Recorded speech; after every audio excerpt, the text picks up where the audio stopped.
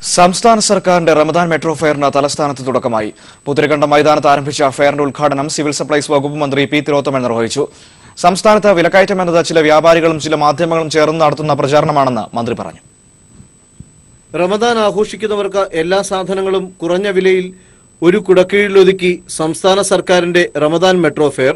തിരുവനന്തപുരത്ത് പുത്തിരിക്കണ്ടം മൈതാനത്താണ് ഫെയർ ഒരുക്കിയിരിക്കുന്നത്.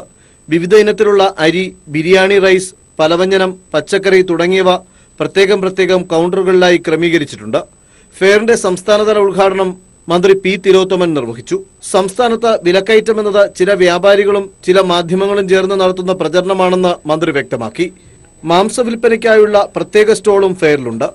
മലബാർ മേഖലയിലും ഇത്തരത്തിലുള്ള നിരവധി മെട്രോ ഫെയറുകൾ തുറക്കുന്നുണ്ട്. News bureau Thiruvananthapuram.